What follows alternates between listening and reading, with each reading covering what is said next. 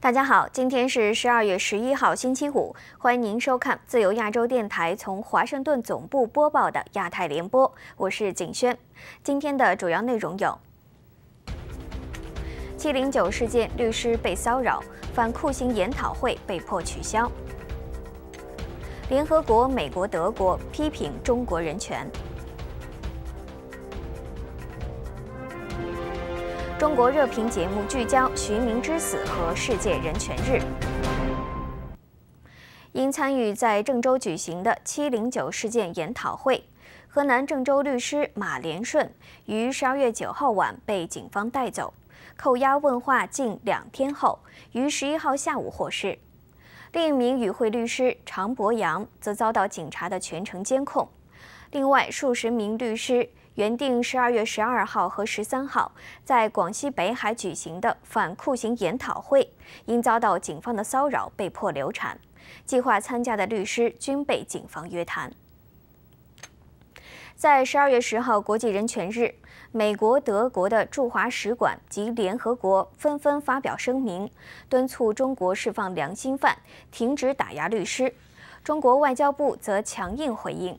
指责有些国家对中国有政治偏见，称美国、德国应管好自己国内存在的问题。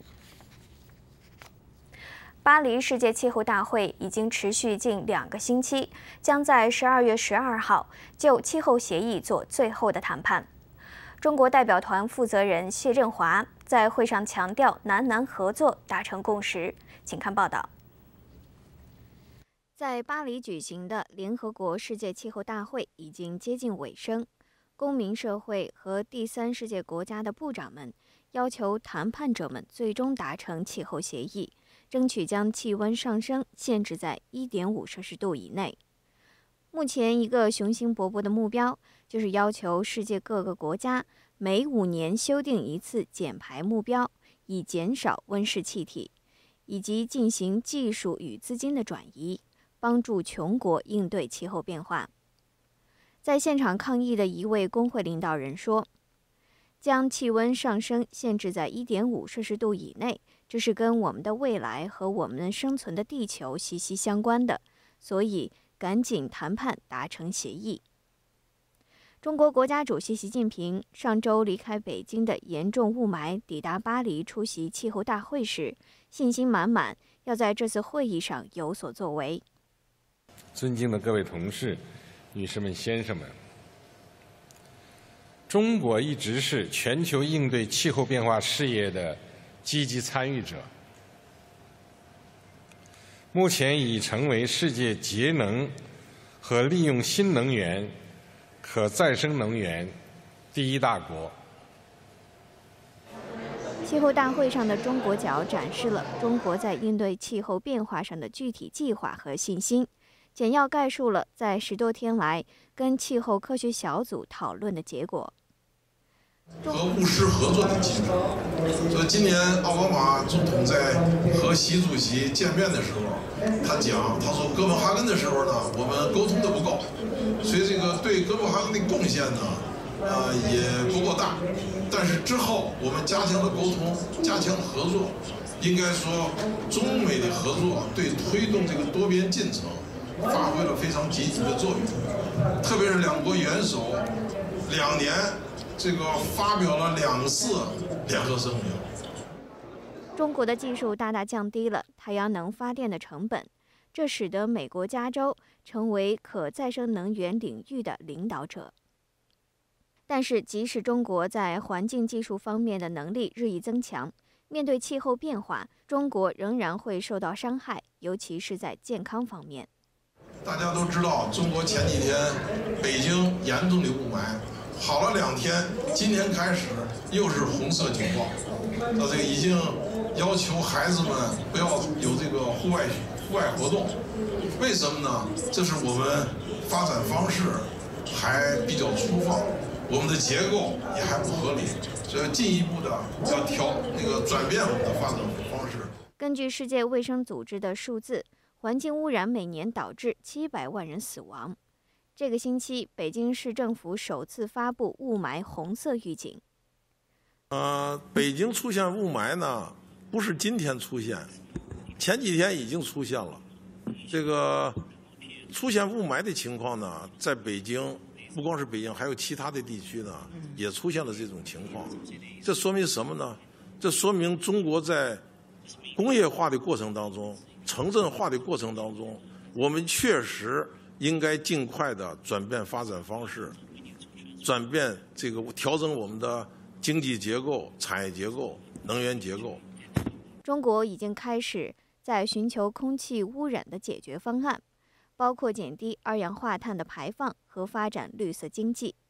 最重要的是，如果这次巴黎世界气候大会能够达成一项协议的话，将对公共健康至关重要。朴志强案的辩护律师尚宝军。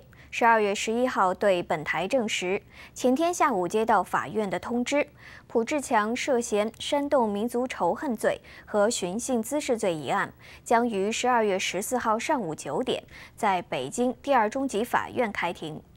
此外，佛山维权人士陈启堂一案的律师刘晓元称，其当事人涉嫌煽动颠覆国家政权罪一案，十二月八号被移送法院。山东省临沂市上千名出租车司机连日来在市政府门口集会，要求当局以实际行动打击黑车。十二月十号，特警向出租车连开三枪，其中一枪击中一名女司机，打穿其腿部的动脉。第二天，继续有数百人在市政府外拉横幅抗议，要求追查枪击案的凶手。当地媒体报道说，是特警枪支走火造成。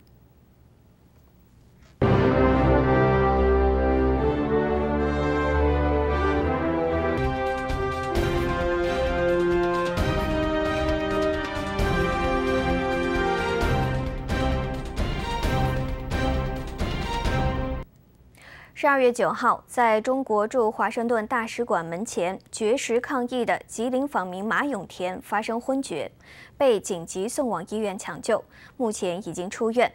从十二月三号开始，马永田已经连续六天在大使馆门前绝食，希望就二零零一年房产纠纷引起政府的关注。今年九月，中国国家主席习近平访问华盛顿期间，马永田曾拦截习近平的车队，后被短暂拘留。好，接下来我们关注一组有关台湾总统大选的消息。国民党总统候选人朱立伦出席对日抗战胜利七十周年暨退役将官岁末联谊参会时表示。希望挥别副手炒军宅阴霾，争取退役将领团结支持国民党。以下是夏小华的报道。朱立人到帅！朱立人到帅！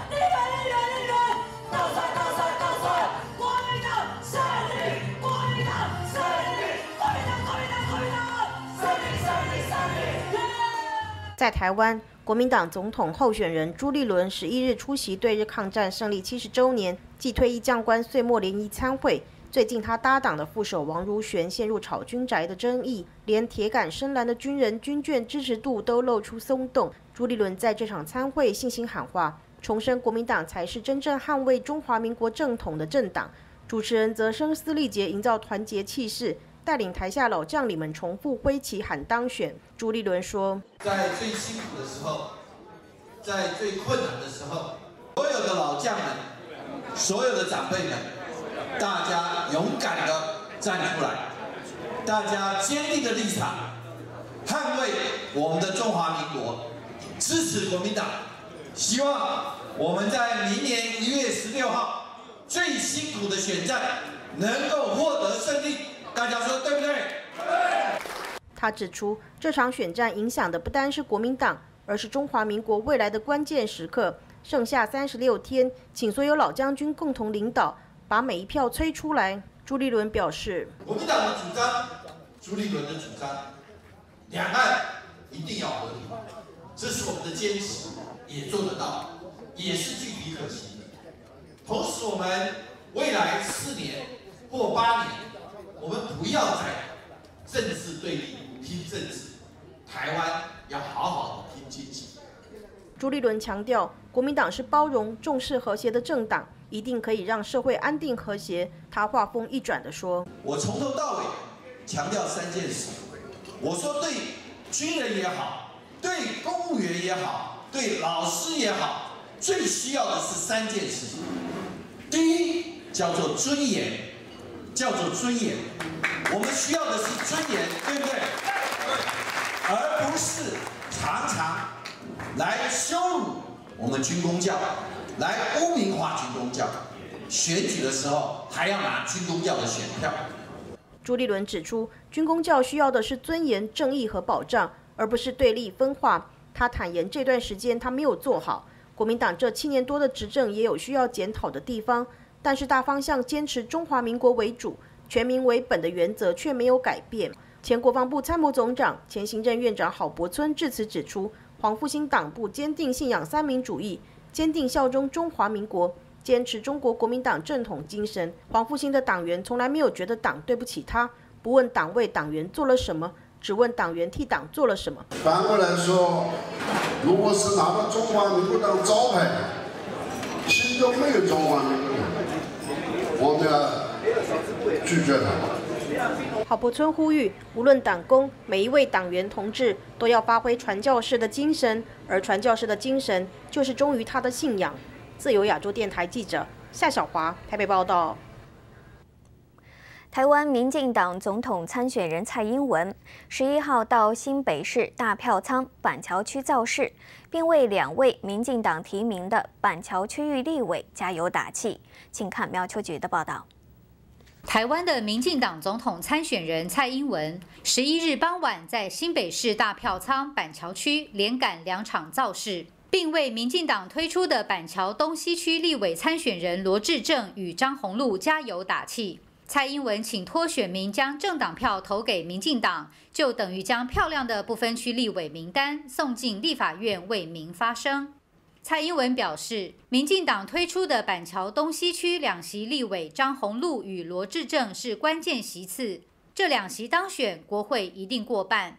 蔡英文说：“你都会发现说。”帮球投出来的票大致于等于整个台湾的那个比例了哈，所以只要看板桥就知道你整个台湾会表现到什么样。所以你这里板桥是全台湾的指标，所以大家信不信变好转台湾的难看？安尼好不？好不？蔡英文先来到板桥四三五艺文特区参观台湾玩具博物馆。童心未泯的他，在桌上足球台前驻足最久，并玩起桌上足球，乐不可支。蔡英文第二站来到板桥区农会，参加蔡英文罗志正小英姐妹会成立大会，并现场玩起扣奥游戏。罗志正呼吁在座的姐姐妹妹打电话拉票，现在就拿起手机打给朋友说：“我跟蔡英文在一起。”结果拨通后。蔡英文跟电话那头的人说：“你好，我是蔡英文。”现场掀起一阵欢呼。罗志正说：“现在的蔡总统是准备好的蔡总统。”罗志正表示：“今年的《时代》杂志封面人物是梅克，我们下一个目标就希望有一天，《时代》杂志封面人物就是蔡英文。”蔡英文对台下民众提出三个请求：第一是总统票投给他；第二是立委票投给民进党。第三个是将政党票也投给民进党。他认为，民进党提出的不分区立委名单，各界赞誉有加，有专业人士，也有弱势代表。政党票投给民进党，就等于投给社会多元力量。蔡英文表示，这一张好名单代表的是我们将来立法院有更多专业的力量，代表了我们立法院将来有更多的多元的声音。在我们立法院有很多弱势者的声音，这都是当民进党把我们的很珍贵的立法委员的席次这个资源拿出来跟社会共享。自由亚洲电台特约记者苗秋菊台北报道。好，今天的亚太联播就到这里，接下来请您不要走开，继续关注中国热评节目。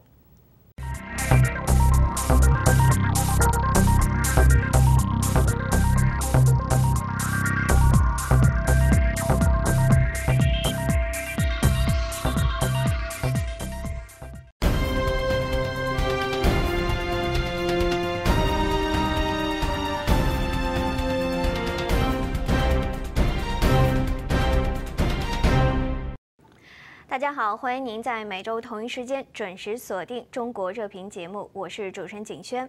那么今天来到演播室参加讨论的是原北京大学经济学教授、现任美国智库加图研究所客座研究员夏一良先生。嗨，你好。好，另一位是通过 Skype 参加讨论的，在纽约的时事评论家陈破空先生。陈先生，你好。主持人你好。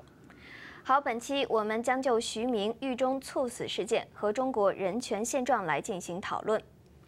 中国前实德集团和实德俱乐部董事长徐明，十二月四日在湖北武汉的狱中去世。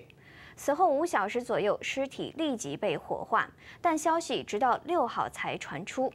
好，夏教授。那么现在关于这个徐明的死因，大家主要是把疑点集中在这几个方面。第一，首先是这个徐明，呃，从被捕开始，大家就说从没有听说过他受审，而且是什么样的罪名。那么第二点呢，这个官方现在对他的死因，呃，说法是这个，呃，并发心肌梗塞。家属表示，从来没有听说过这个徐明有心脏病方面的疾病。那么第三啊，这个徐明死后，这个遗体立刻被火化，这就让说这所有的疑点都无从去查究了啊。那您觉得这所有的疑点都在暗示着一个什么样的问题呢？现在很多的说法，有些人就不相信是他病死，因为在这个死之前他在坚持跑步。呃，另外就是徐明的身体状况，虽然讲禁欲之后有所恶化，但是呢还不至于那么严重，他才四十四岁，嗯，所以很多人说这个他杀的可能性比较大，呃，因为他知道的太多了啊。这个前段时间就是薄熙来那个案件里面，他作为污点证人，呃，当然薄熙来也不屑把他贬得很低，但是无论如何，他在薄熙来整个的这样一个贪腐的过程中，他起了关键、至关重要的作用。我们看到很多那个一些细节，比如说薄瓜瓜要买一辆这个特殊的这个自行车。都要徐明来买单，呃，以及在这个法国买的别墅，呃，他们家的这个大量的资产向海外转移，在海外置产，这前前后后的很多事，就是徐徐明是鞍前马后。当然，徐明这个发家史也是薄熙来提携他的，所以这样一个大企业家，现在这么不明不白的突然死了，很多企业家也有一种兔死狐悲的感觉。最近我就看到冯仑这个写了一篇文章。啊，当然，虽然这些呃企业家都还不敢公开的呃跟政府叫板，但是呢，那种隐晦的说法里面多少能看出一点，就是其他企业家忧心忧心忡忡，有一种这个很不安全的感觉。好，那陈破空先生刚才就像这个呃夏教授提到了，说说到徐明，大家就很自然的联想到这个薄熙来一案。那您觉得啊，徐明突然呃，好像据我所知，他已经其实是快刑满出狱了啊。那么他在这个时间突然猝死了，呃，您觉得谁是最大的受益者？呃，显然现在就说，如果徐明这个时候死，死的非常蹊跷，不同寻常。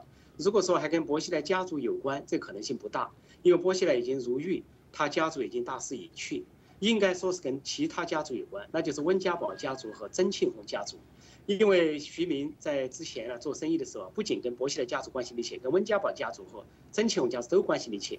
比如说他跟薄熙跟那个温家宝的太太，在北京的同一层大楼办公，那一层大楼一半是徐明的，一半是温家宝太太张佩丽的。那么关系密切，而且他曾经追求温家宝的女儿温如春，就两人曾经约会，那么互相有很多的利益输送，包括那些股份的转让，双方在温家都有大量的交易，而且他跟温家宝的儿子温云松都是好朋友相以好朋友相处。另外，他跟曾庆红家属，呃，曾庆红家属也关系非常密切，因为曾庆红的手下，呃，那个叫戴永革的人呢。呃，就是跟他一起在一起做生意，都是一个合作伙伴。说，据说徐明这个人精明就在于很知道怎么拉关系，很怎知道怎么接近权力。说他跟薄熙来、温家宝、曾庆红三大家族都有关系，说非常复杂。他薄熙来这个事情他被牵进去了，牵进去主要是为了让他做污点证人，那证实薄熙来有这个受贿，坐实薄熙来。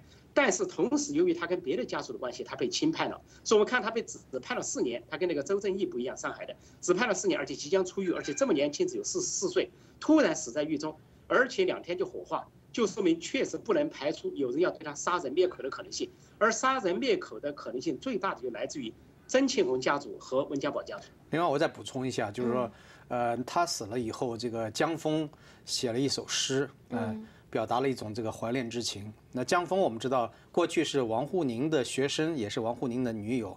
王沪宁曾经许诺要娶她，让她先到英国读书。但是后来没想到王沪宁这个官运还不错，呃，几任这个最高领导人都要他当国师，所以呢，他就没去成。那么江峰后来呢，跟别人同居，其中就包括徐明。呃，江峰因为他在官场上也联系很广泛，那徐明呢，更更不用说了，就是他们这种关系错综复杂的关系。呃，这里边就刚才讲到了，就是说，包括贺卫方教授都在质疑说，为什么这样的一个大的事情。就这样一个人什么时候进去的，怎么来审理的，请了什么样的律师，判了多少年刑，大家都大家都不知道。然后这么蹊跷的死掉了也不清楚。嗯，所以到现在呢，就是说官方没有一个真正能够有说服力的说法。好，夏教授，那您觉得现在中国的国内这个政商之间到底是一种什么样的关系呢？因为中国目前的这样的一种这个官僚系统，它造成了一种它独占资源。那呃那些官那些商人们如果想发大财的话，必须跟这个官方有勾结，叫官商这个勾结之后才能做大，否则的话你是没有办法的。甚至有的时候你想有意避开官场都不行，他要主动的来找你。他这种现象呢，就造成了很多企业家现在有很多的担忧。为什么最近一段时间资本向海外转移非常的厉害？嗯。好，那陈破空先生，这个徐明事件啊，人们不得不把这个目光集中在这个政商黑箱操作的这个问题上。您觉得现在这个黑箱操作在中国已经达到了一种什么样的程度呢？首先，这个权力权钱交易，呃呃，官商勾结，这是中国社会的一个常态。这是一个就说呃权贵资本主义的常态，没有互相监督、互相制衡，没有真正的市场经济，权力寻租的一个必然的结果。我们看到徐明他的第一桶金哈，他就是当时当市长的大连市长的薄熙来，把那个城市的垃圾回收和美化城市的项目批给他，他就淘到了第一桶金。之后他就投桃报李，实际上在商业上充到了薄熙来的钱袋子。那么他发达，我们还可以对比一下说，他跟另一个商人王健林，王健林当时也在大连，他也在大连，结果由于他更亲近薄熙来，结果他把王健林的这个这个这个足球队也拿了过去，说当时当。呃，这个徐明被排名为中国第八名富豪的时候，而王健林只排一百四十六名，而他今天一一荣俱荣，一审俱审，波西来徐明倒台，对，波西来倒台，徐明倒台，那么现在王健林却是中国的首富，因为对应的他的政商关系是习近平家族，而习近平是最高领导人，所以我们看到这种正比的政商关系在中国的存在，说这种黑箱是非常深的，深的就在于光这次这个判决。薄熙来这么重要的人物却公开审判，而徐徐明是一个普通的所谓的商人却被秘密审判，说这本身就说明了这里面的黑箱有很巨大，就说明背后有人在操纵徐明的案子。从他一进入那个法庭，到他进入监狱，到他要出示这篇的死亡，都是背后操作的结果。说这个黑箱有多深，那是 难以形容的。好的，非常感谢两位。那么接下来我们再来关注一下这个十二月十号世界人权日的问题啊。那么世界人权日，这不仅再次把这个全球的目光可以说又集中在了这个中国身上。那夏教授说起这个人权啊，中国政府认为，对于中国的民众来说，这个生存权和发展权是首要的人权。那就您来说，您觉得这个中国的民众现在生存权到底是一个什么样的状况？呃，首先生存权呢，就是说，在中国老百姓是很难呃摆脱官方的这样的一些呃控制，因为主要的资源都控制在政府手中，呃，尤其是像这个环境，这个环境的治理和污染的问题，政府要首当其冲的负责。呃，像北京这个最近出现这么严重的雾霾，呃，可以夺去多少万人的生命，这样的一个情况，就是说连最基本的人权都无法保障了。也就是生存权是中共过去一再强调说。不能跟发达国家去比，每个国家都有一个发展的过程和发展的阶段，所以他们的意言下之意就是说，只能保证一段时期的生存权啊，或者是给老百姓一定的发展的机会，但是这两个都没有保障啊。那个生存权，你看现在环境污染到这样一个程度，这空气、水源啊、食品啊，还有各个方面，就是说这种让老百姓的生存就是状况堪忧，呃，发生了这个严重的威胁。呃，另外呢，就是讲这个发展权，那更是剥夺的太多了。好，陈破空先生，您觉得这个中国人权状况现在是一个什么样的现状呢？事实上，这个中共是把这个人权跟生存权对立起来，而且秩序颠倒过来。其实真正的情况是，没有人权就没有生存权。那么，就像现在老百姓啊，喝水不放心，吃食物不放心，然后出门空气不放心，为就说明生存权受到了威胁。为什么？就是因为他没有人权。如果他有人权的话，他几十年前、三十年前、五十年就有监督政府的权利。中国的环境污染绝不至于这么严重。就好像上个世纪六十年代，这个中国饿死了四千多万人。如果说在这之前中国人有人权，中国人民能够制止毛泽东的那种倒行逆施，搞所谓的大跃进啊，搞什么盲目大干瞎干，那么如果有那样的人权，有那样的民主权利的话，那样的悲剧是不会发生的。就是因为人权出了问题，生存权也出了问题，就跟北朝鲜一样，北朝鲜人民由于没有人权，所以处在饥寒交迫中，很多人被饿死。说倒过来，人要有首先有人权，才有真正的生存权。如果没有人权，那种生存权是一个假象，随时可以被剥夺。所以今天中国人由于没没有人权，就处于这个状态。而徐明事件发生在人权日前夕，而又发生在中国第二个宪法日，不仅是对人权的嘲弄，而且是对宪政观念的嘲弄。这说明中国的今天一百年前的宪政观念到今天都没有实现，而且连提都不敢提。说宪政的观念不能提，人权的观念不能提，老百姓的生存权受到极大威胁。嗯。好，那么说到这里啊，呃，我就联想到这个世界人权日前夕，联合国禁止酷刑委员会曾经发发布了一个呃审查中国履行这个酷刑公约的报告，呃，那么上面就提到啊，呃，说这个中国虽然是在这个酷刑履行上取得了进步，但是还不乐观啊。那夏教授，您觉得现在这个中国酷刑在中国的宪法当中，它究竟是怎么去定义的？因为这个。酷刑是普遍存在的，在中国刑供逼讯的这个事情，就是从过去呃毛泽东时代到现在都一直延续下来。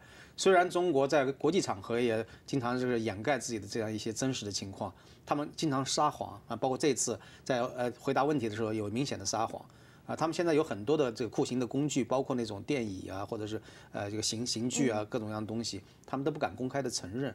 虽然有很多的见证人亲自都经历过那样的酷刑，他们现在还是不愿意承认。所以说这种东西，就是说这个以后不是说中国政府仅仅是签署了这个协议，应该呃惩签订那个惩罚条款，就是如果你违反了这个这样一些条款的话，作为你已经签署的国家，应该承担什么样的责任，进行什么样的惩罚。好，那么呃，外交部发言人华春莹在这个十二月十号的这个记者会上，曾经就这个中国人权状况做出了他自己相应的回应。那么他说，这个首先他提到，外国记者或者是团体没有权利去干涉中国的司法。独立和主权，那么中国政府也会高度重视和促进保护人权，并且他还提到了一条非常有意思的事情。他说，中国并且已经走出了一条适合中国国情的人权发展道路。呃，我想听一下两位对这段话是怎样去解读的啊？陈破空先生，您先讲讲您的看法。我想他在说中国特色的时候啊，这一切都是这个。呃，一个托词，就说只要是中国做的事情不符合国际标准，它叫中国特色；如果符合了标国际标准，它就是全球化啊，就是符合了这个世界标准。所以它有两套说辞，这个两两面。实际上我们知道，在中国的这个像看守所啊、监狱和这个劳改场、劳救场啊，它有两个名词，一个叫野蛮管理，一个叫文明管理。平时呢，就是这个乱来叫野蛮管理，不守规矩。如果说上面有人检查了，或者说受到外电的报道了某个劳教场、劳改场，那么他就号召要开始文明管理了。那一段时间，所谓文明管理就是守规矩，就按照他的规矩，他写的规范来说，他是不能虐待犯人，不能够有酷刑的。但是当那个风头一过呢，他马上就不提文明管理了，也就回到野蛮管理。说这个中国的酷刑啊，在监狱中发生有两种，一种就是说。政府有意制造的酷刑，为了让某种人招某某种某种案子做成，说政府纵容；另一个是政府不纵容，但是狱警或者是这个公检法这套体系啊，不由自主的习惯性的酷刑。说这两种酷刑在中国同时存在，要要制止啊非常难。中国虽然签订了所谓国际的酷刑这种禁止酷刑条约，但它不执行。他不执行，就像他签订了别的公民条约一样，他不执行，要说一套做一套，这是中共的一个厚黑大法。那夏教授，你有什么？对，首先我们看这个，在国际上已经达成共识，就是人权高于主权啊。而中国经常找借口说这是我们的内政，你们不能干涉。那这样的意思是说啊，是我的儿子，我的老婆，我可以把他打死啊，不用这个别的邻居来管啊，这是没有道理的。因为如果你这个任何一个人，你你要想把自己的老婆打死，或者把自己的儿子打死的话，那已经不是你们的家事了。是人类社会的事，所以说为什么讲人权高于主权，这个是颠簸不破的一个真理，是是一个原则。中国他如果是想做一个文明的国家，他就不能够违背这样一个最基本的准则。嗯，好的，那么这期中国热评到这里就要结束了，非常感谢两位嘉宾的参加，也感谢大家的收看，我们下周再见。